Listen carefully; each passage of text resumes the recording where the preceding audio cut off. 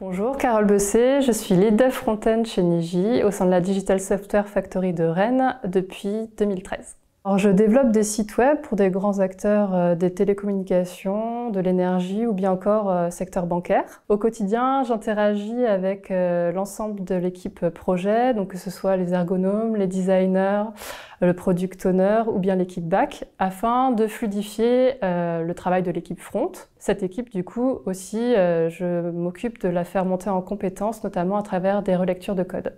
Et tout ça dans la bonne humeur.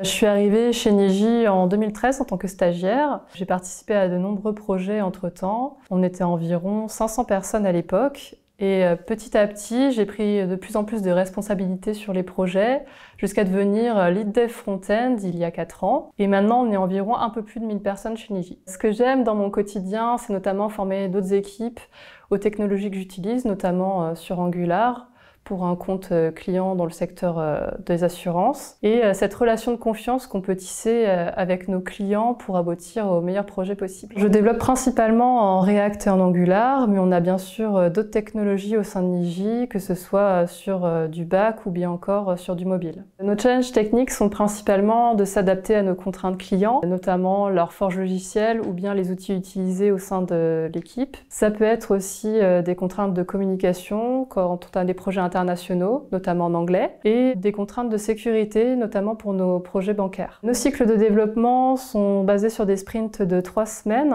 au bout duquel on fait une démonstration à nos clients du travail réalisé par l'équipe. Si je devais convaincre quelqu'un de rejoindre Niji, je lui dirais qu'au-delà des technologies utilisées sur nos projets, c'est avant tout euh, l'ambiance conviviale et constructive qu'on peut avoir euh, dans nos équipes. Niji m'a permis de bénéficier d'un congé sabbatique euh, en Asie du Sud-Est pendant six mois, ce qui m'a permis de m'épanouir personnellement et professionnellement. Donc n'hésitez pas à nous rejoindre.